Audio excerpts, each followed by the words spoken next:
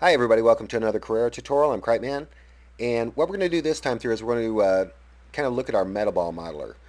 Um, now, let's go ahead and drop a metaball object into our assembly room and go into the modeler proper. And uh, you'll notice that the there isn't a whole lot here. There, everything everything that you have and that you have to do is going to happen right in this small area right here. Let's go ahead and uh, check this out. These are these are your tools pretty much.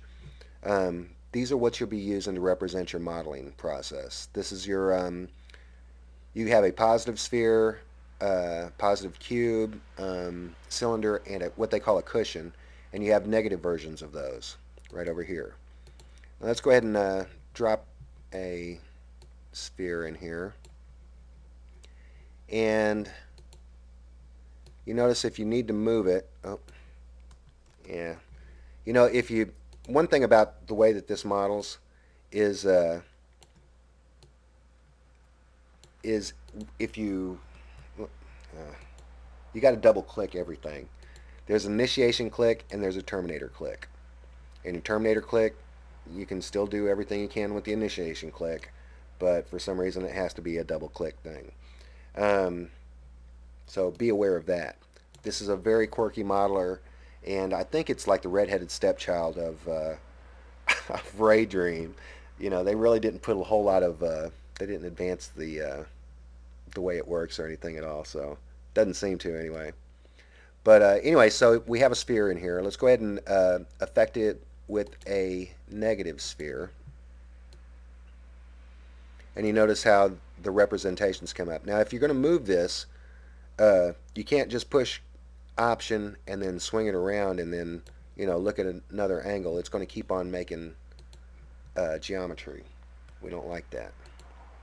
Or we don't want that to happen particular in this particular instance anyway. And you notice how your negative geometry affects your positive geometry. I think where am I at here? Oh there it goes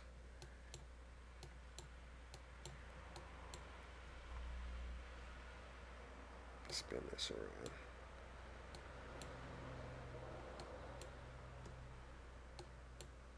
There it is. All right, so there's our geometry with some geometry uh, messed with. Let's go ahead and uh, duplicate this. Oop. Got his double click. I keep forgetting. Let's duplicate it. Select it again. Move it back and forth. And if you go from the top view, and you have preset positions you can go to, go to the top view, you can uh, do other things to it. Let's duplicate, duplicate. And you can get some really interesting shapes to happen, but you got, it, it takes a little practice, it really does. This is one of those ones that it takes a little practice. Let's go to um, preset position uh, reference. And you notice that we have our little metaball modeling shapes here. There we go. And you notice how when this comes through, how it affects everything. See that? Now, what you can do too is you can push control and normally the control is the command alternative for PC, so I don't know what your what the uh, command is for that. But if you push control in, on a Mac, there we go. Push control and then push uh, then push uh, your left key, your left uh, click on your mouse. Um, you have a whole slew of options right here. You can make geometry, you can make other geometry, you can uh, put negative geometry. Um, in this particular case, I can scale this up and down on the z-axis. Get some really interesting shapes going. Click that again. And get some interesting shapes going. And uh, what you can do here too, oh, double click, initiate, terminate. Um, you can change the color of your geometry. If, if it starts getting too uh, complex. Oh, duh. I forgot. This little, these little tabs right here, this gives you better fidelity. You can you can see more real time of what it's actually doing, or you can go here and uh, you can kind of uh, check out things. Now, the more the more complex your geometry gets, the more you want to use um, initiate, terminate.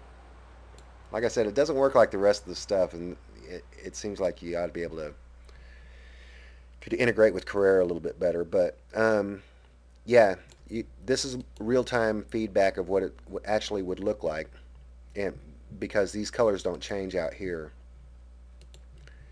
on your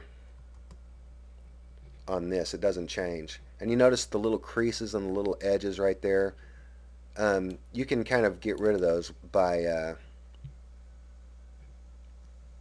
uh, hitting the couple of their what's up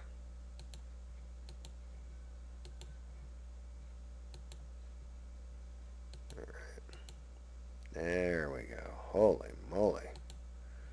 Initiate, terminate. And you can do surface fidelity. And uh, you can get some you can get some really high values. It doesn't do 500. Do 400. Get some really high values in there and it'll smooth things out just a little bit more. Now, uh, like I said, the Metaball Modeler is something that really takes a little bit of, you got to pay a little bit of attention to it, and you can get some really good results. Make sure you keep your grid on, and uh, you have a better chance of surviving the process. But uh, yeah, check it out. It's it's pretty cool. It's quirky, but it is cool, and uh, it's part of Carrara. So anyway, that's it for this time. I'm Cripe Man, and I'll talk to you again later.